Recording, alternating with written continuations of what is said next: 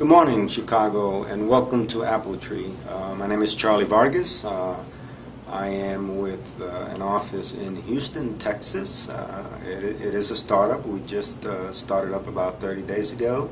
Uh, we have a total of two employees, but we look forward to much success with Appletree, and we certainly want to welcome you and, and wish you the same.